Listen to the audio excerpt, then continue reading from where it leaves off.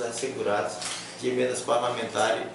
para o exercício 2018, no caso, é, mais 1 milhão e 950 mil reais é, do PAB fixo. Sem contar recursos que estão vindo aí para construção de calçada, de melhorias sanitárias, pavimentação de rua, aquisição de equipamentos, né, como trator de, é, com grade, com arado, enfim. Então eu fiz questão de convidá-los aqui para compartilhar desse momento, vocês que foram de extrema importância é, na nossa gestão, divulgando os nossos trabalhos,